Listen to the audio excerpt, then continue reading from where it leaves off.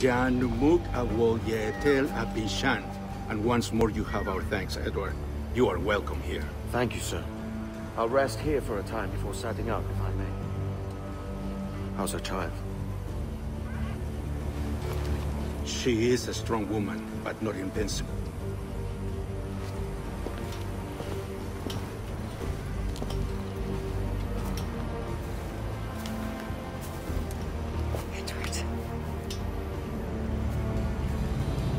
I'm sorry for your loss. If I'd stayed in prison, they'd have taken him from me. He'd now be alive.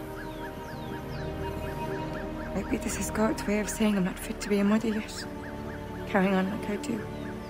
Cursing, drinking, fighting. You are a fighter, I. In prison, I heard stories of the infamous Anne Bonny and Mary Read taking on the King's Navy together. Just the pair of you. It's all true.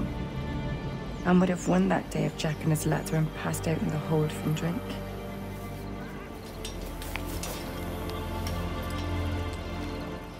Edward. Everyone's gone, aren't they? Mary, Rackham, Thatch, all the rest. I miss them so. Rough as they were. Do you feel that too? All empty inside. I do. Devil curse me.